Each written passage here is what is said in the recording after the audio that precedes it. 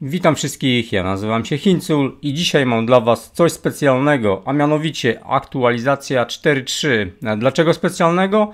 Zaraz do tego dojdziemy. E, tak, e, wczoraj późnym wieczorem pojawiła się informacja o aktualizacji. Jest to wersja 4.3 aktualka. Tak naprawdę wiele ona nie wnosi. Nie mamy nowych dźwięków, nie mamy zmiany w pojazdach, tak więc niewiele wnosi, ale myślę, że coś miłego jednak wniesie, na co e, do, od dość długiego czasu czekamy. E, aktualizacja 4.3 nadchodzi 6 lutego, czyli już dzisiaj. E, oczywiście, żebyście się nie zdziwili, są prawdopodobnie już teraz trwają prace na serwerach, tak więc około 2-3 godzin będą wyłączone, a po aktualizacji, y, po, po włączeniu serwerów y, właśnie będziemy mieli tą aktualizację i zresztą nie tylko tą aktualizację. Przygotujcie się na nową zimową mapę, tak więc wchodzi nowa mapa, y, która będzie dostępna wyłącznie na konsolach. Oprócz niej w grze pojawi się także zimowy wariant znanej i lubianej klasycznej mapy. Przywracamy także dwie mapy, które poprzednio zostały usunięte z gry. Siewierogorsk oraz Dębinę. I to jest y, wczoraj naprawdę jak zacząłem tego newsa na stronie y, niesamowicie się ucieszyłem, bo na te mapy czekałem. Y, najbardziej chyba na Dębinę. Tej mapy mi strasznie brakowało, gdzie grając można powiedzieć czołgiem średnim jest to świetna mapa. Zresztą nie tylko, ogólnie ta mapa się nadaje dla każdego rodzaju pojazdu. Siewierogorsk troszkę trudniejsza, ale mimo wszystko też jest bardzo fajna mapa. E, te wszystkie mapy znajdziecie u mnie na kanale. E, zrobiłem taki e, materiał o, o tych mapach, które zostały usunięte. Pod filmem jeszcze wkleję linka do tego materiału, także jeżeli ktoś jest ciekawy, jakich map nam brakuje, tak więc wkleję link, żebyście sobie mogli zobaczyć. Co dalej? Powitamy również HMC M8, całkowicie nowy czołg średni czwartego poziomu w amerykańskim drzewie technologicznym. Natomiast sklepie zaparkują na chwilę dwa groźne czołgi ciężkie premium T-26E5, oczywiście jest to Patriot i obiekt 252U, oczywiście Defender.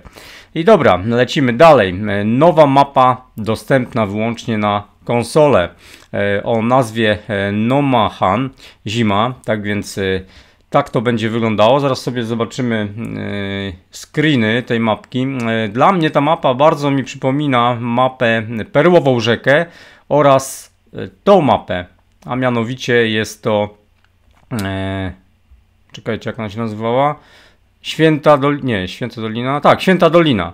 Święta Dolina właśnie e, bardzo mi e, przypomina troszeczkę tą mapę, tym bardziej, że to była też taka chińsko-japońska, w każdym razie azjatycka mapka. No i tutaj e, też jest właśnie, są takie zabudowania, zobaczcie zresztą sami. Bardzo podobna, widzę jest niesamowita ilość drzew. Tutaj mamy otwarte tereny. No zobaczcie, tutaj no, można powiedzieć, że właśnie jak Święta Dolina, e, Perłowa Rzeka, coś takiego. Tak to mniej więcej wyglądać będzie.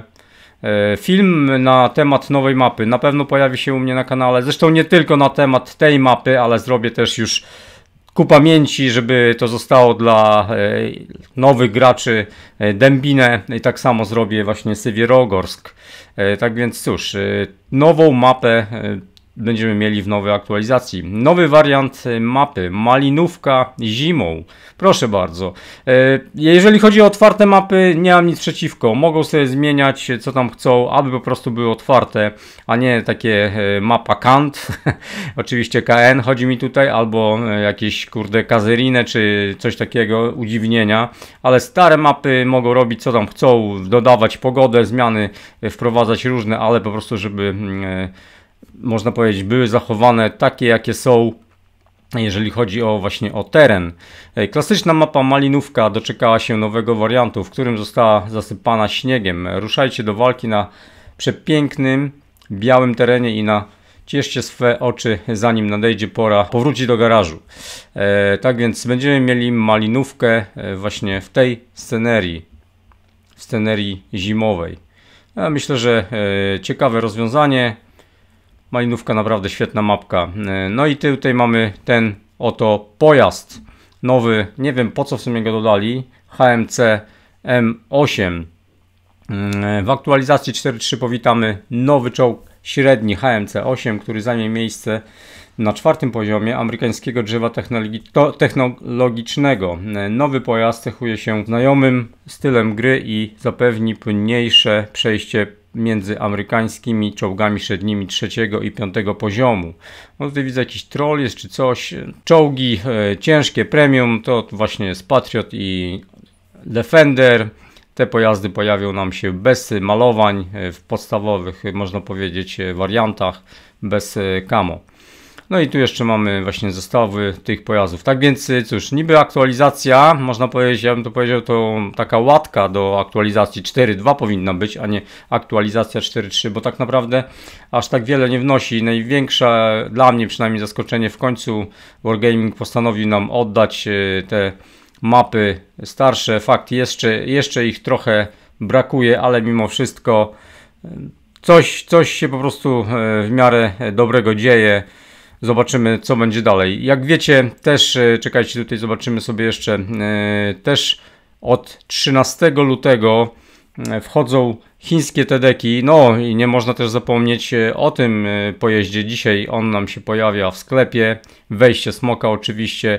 Typ King Dragon 59, tak więc ten pojazd już dzisiaj będziecie mogli zobaczyć na polach bitewnych. I co jeszcze chciałem powiedzieć? Czekajcie, gdzie to było? Aha, tutaj w przeglądzie lutego.